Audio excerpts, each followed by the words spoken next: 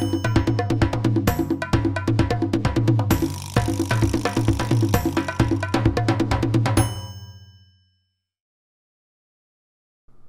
traders and welcome back to another survival guide. If you've ever wondered if there was an easy way to measure the changes in costs of various goods and services in a country to better gauge inflation, well, there is. It's called the CPI, the Consumer Price Index, and today's episode is going to revolve exactly around that. So stay tuned to learn a thing or two about the CPI and how it could possibly help you in your trading career. Let's get going.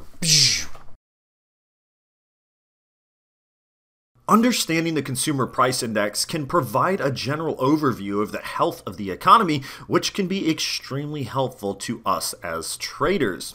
The CPI is the most important macroeconomic indicator tool in an investor's arsenal. Using the consumer price index formula to track how the costs of goods and services are continuously changing helps get a better read on how the economy is performing.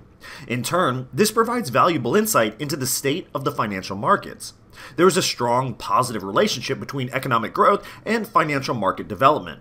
And while they are not always directly related, a thriving economy often bodes well for the financial markets. Futures and options traders can greatly benefit from knowing and understanding the CPI due to how it measures inflation, which significantly impacts the market. An example of this in short would be using gold to hedge the economy because you're aware of a potential rise or fall in inflation due to the CPI. Sometimes people refer to the CPI as the cost of living index, and the CPI measures the average changes in prices for a market basket of consumer goods and services over a given period of time. This basket comprises everyday necessities such as food, shelter, clothing, medical care, and transportation. In the US, as an index, the CPI tracks the expenditure pattern of American households and is usually computed monthly, quarterly, or yearly. The Consumer Price Index is the most popular measure of inflation rate and the cost of living in a country. As such, it is constantly monitored by policymakers, financial market participants, businesses, and even individual consumers. With the periodic release of the CPI reports, these stakeholders can analyze the change in the prices of individual goods and services and the changes of the average price of the market basket itself. The inflation rate is the average rate the market basket price changes over time. The CPI is also the basis for calculating the cost of living adjustment, oftentimes referred to as COLA, C O L A. COLA represents the increase of the Social Security and Supplemental Security Income, SSI, to compensate for inflation over a particular period. Essentially, COLA helps households maintain a reasonable living standard. So, who is responsible for calculating the CPI? Well, that would be the U.S. Bureau of Labor Statistics, also referred to as BLS. The CPI was first calculated in 1917 when World War I and its toll on global economies led to an abnormal price surge. This created the need for an index to measure how quickly the cost of essential goods and services was changing. Now let's talk about how the market basket that makes up the CPI is determined. To calculate the CPI, the BLS surveys 24,000 households across the United States. It acquires its data based on where families shop regularly and the most common types of goods and services that they purchase. It also surveys around 21,000 retail businesses across major metropolitan areas to acquire pricing and information for tens of thousands of consumer items. All of this information is collected and then analyzed to form the CPI market basket basket. This is what we have here on the screen. We can see that we have food, food at home, food away from home, and the list just goes on and on. But this is what currently comprises the CPI itself, or the basket that we're discussing. It's important to note that there is a time lag between the survey and when the Consumer Price Index market basket is actually formed. For example, the CPI market basket used in 2021 was likely based on data collected from surveys conducted in 2018. This doesn't mean that there's a lag in the CPI itself, but rather the market basket used in the CPI calculation lags by a few years.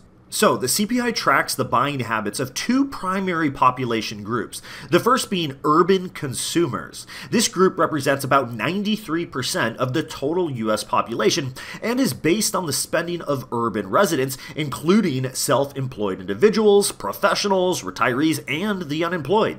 It excludes the spending patterns of people living in rural areas, armed forces members, prisoners, and patients in mental institutions. Consumer inflation for this group is known as the Consumer Price Index for all urban consumers, the CPI-U. The second group is the urban wage earners and the clerical workers. This group represents the aggregate spending of households included in the CPI-U definition plus two additional requirements. First, over 50% of the household's income must come from clerical or wage occupation. The second requirement is that at least one of the household's primary earners must have been employed for a given period of time. The CPI for this group is known as the Consumer Price Index for urban wage earners and clerical worker, workers, but in short, it's CPI W. It represents about 29% of the total US population.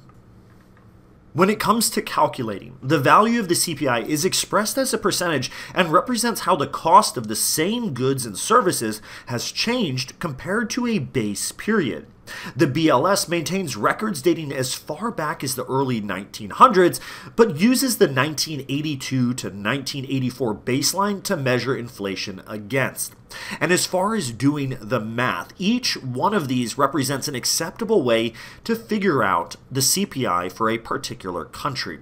The first is the Laspeyres Price Index, and I am probably butchering the name because this is a difficult word to say. Try it yourself. The second is the Paasche Price Index, and the third is the Fisher Price Index, which is generally the accepted option of the three because it's an average of the first two. Now, once again, the details behind the exact equation you can find with a quick Google search, so let's move on. Trading the CPI primarily involves trading with CPI data releases. Understanding CPI data is essential to traders because it is a leading indicator of inflation. And as you probably already know, inflation significantly influences a country's interest rates and, by extension, its economy.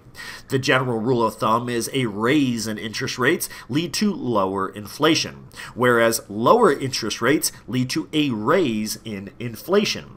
Being aware of the CPI and all of the directional heading of the inflation that a country might be having can lead you to do some pretty powerful things however you choose. As we already mentioned with the gold example, perhaps you're aware that inflation is rising and you look to be a bit more bullish on gold itself.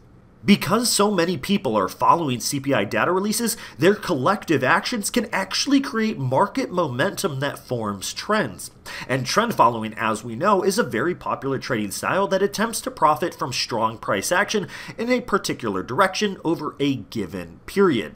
So being aware of the CPI releases can give you insight into how the masses might actually be moving in response to that data coming out, which can then give you insight into which direction to expect prices to move. So, from a trader's perspective, the CPI is a very valuable tool to measure inflation rates as well as how they might impact a particular economy.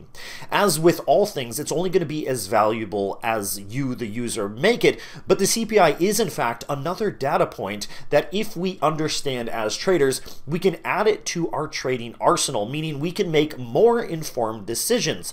And generally speaking, as traders, the more informed our decision is, the better the outcome most likely will be.